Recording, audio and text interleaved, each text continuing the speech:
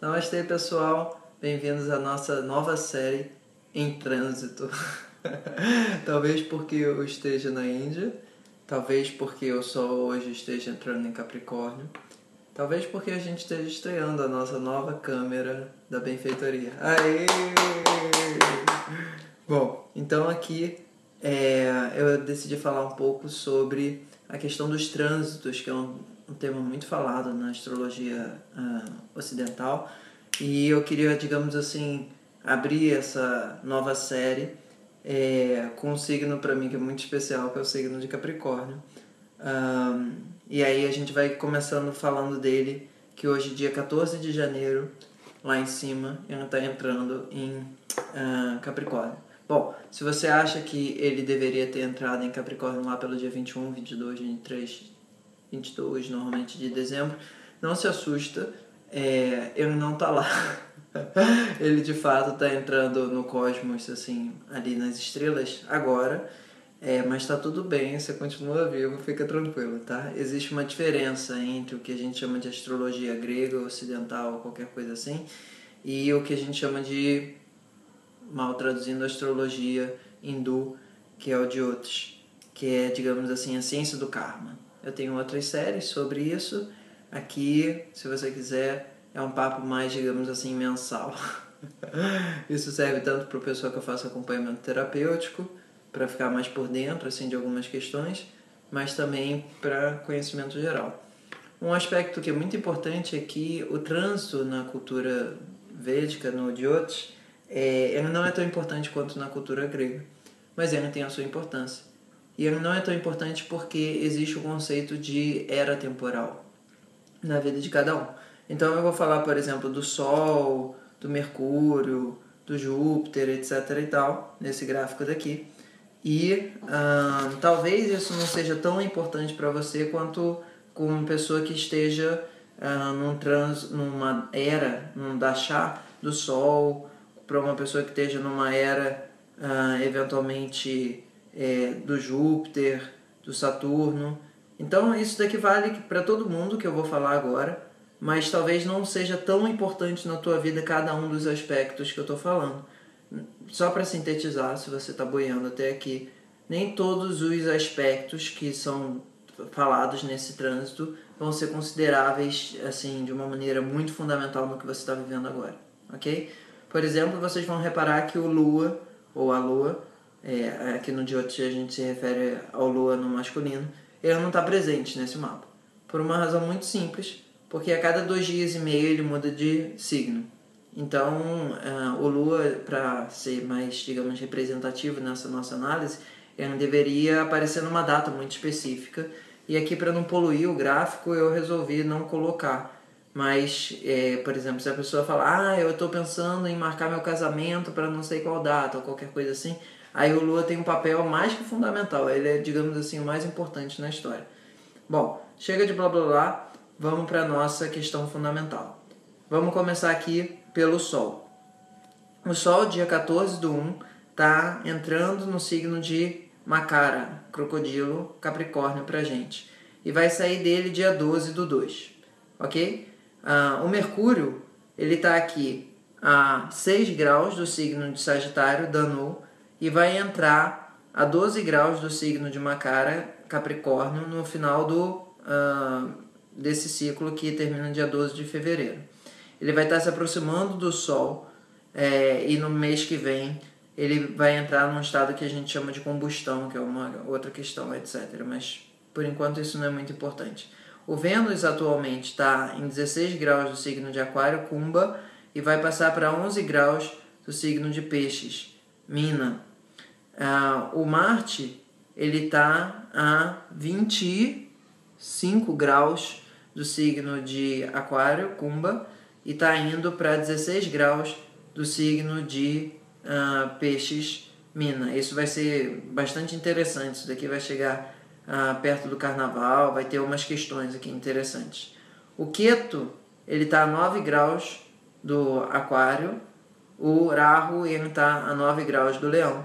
E por definição eles são 180 graus, porque é a cabeça e a cauda do dragão, eles sempre andam no sentido contrário do que é natural dos outros astros. Os astros, no geral, andam de uh, Ares para Peixes. Nesse caso, na forma como está desenhado aqui, está andando no sentido anti-horário. O que importa é que eles andam no sentido contrário do que é o sentido natural dos signos que a gente conhece, Ares, Touros, etc. O Júpiter está aqui, ele está a 28 graus do signo de Virgem, Cânia, e aí a gente vai fazer algumas considerações aqui sobre o fato dele estar tá entrando em retrógrado daqui a pouco. E Saturno está no finalzinho do signo de uh, Escorpião, Vrushika, e está entrando no início do Sagitário. E esse trânsito do Saturno aqui esse ano vai ser um trânsito bastante interessante, porque ele vai, digamos assim, ficar pulando e voltando num lugar importante do zodíaco, que é essa junção de uh, Escorpião com Sagitário. Aí, além disso, a gente vai falar um pouco sobre uma questão assim dos aspectos que vão rolar, tanto do Saturno em relação ao Sol, quanto que do Júpiter em relação ao Sol, num determinado período no ciclo, fazer algumas adiantar algumas questões que vão aparecer mês que vem. Bom, então aqui estão os símbolos de cada um dos astros, dos grahas: Sol, Mercúrio, Vênus, Marte, Júpiter, Saturno, Rahu e Keto. Isso dá para encontrar fácil na internet, eu fiz aqui com uma legenda só para um esclarecer. Bom, então falando desse trânsito é, do Sol em Capricórnio, vai fazer com que as pessoas que estejam com o Sol ativado é, tendam a procurar se inspirar em atingir coisas mais importantes na vida, da, fazer uma marca na existência. É um período onde a ambição se torna mais relevante, porque o signo de Capricórnio tem a ambição de marcar a existência chegar no topo do Everest, marcar a sua bandeira ali. Mas isso vai estar principalmente ativo para as pessoas que vão estar em períodos dos dashas uh, pessoais onde o Sol está ativo. Se o Sol não estiver ativo no teu mapa, isso não vai estar acontecendo tanto. O Mercúrio ele vai estar transitando de uh, Sagitário, que é um signo bastante aspiracional de fogo, para Capricórnio, que é um signo de terra bastante materialista. Então esse é um período relativamente bom do Mercúrio em termos de buscar estudar, buscar fazer com que, digamos assim, se dedique a provas, etc e tal.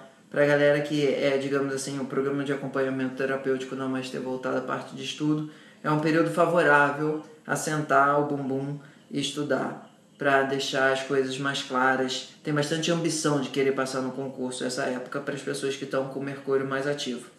Sobre o Vênus, o Vênus ele está se encaminhando para Peixe, que é o lugar de exaltação dele, que é o lugar onde ele, digamos assim, fica mais é, animado no, no zodíaco.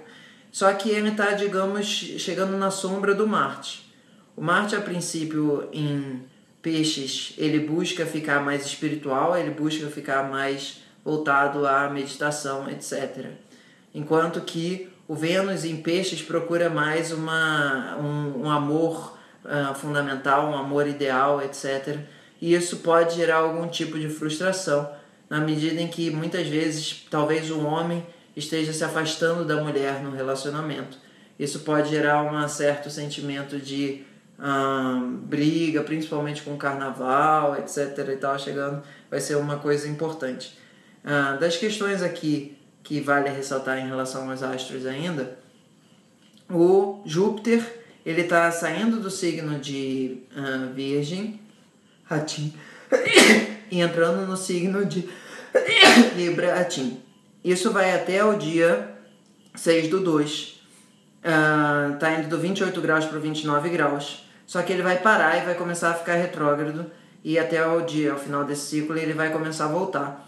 Isso vai fazer com que as pessoas muitas vezes estejam buscando a espiritualidade de uma forma mais material de uma forma mais através de conhecimentos, meio que retomando planos que estavam, digamos assim, um pouco em dúvida se ia continuar ou não.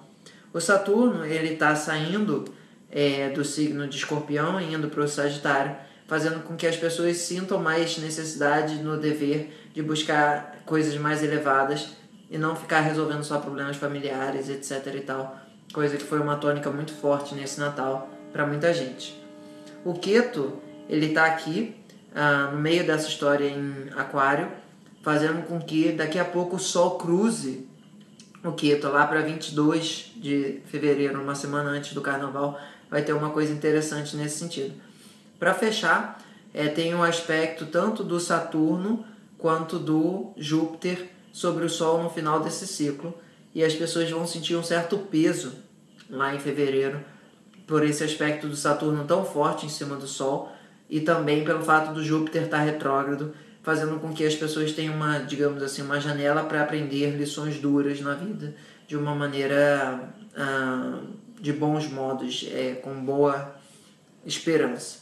Então vai ser um período um pouco mais é, intenso esse final desse período lá para 13, 12 de fevereiro. Tá bom, pessoal? Então isso daqui é uma visão geral, passada muito rápido, mas a gente é, nas leituras mais pessoais consegue ver isso com mais detalhe de acordo com a, o período que cada um está passando, da chave que cada um está passando. Espero que você curta Namastê em Trânsito. Namastê!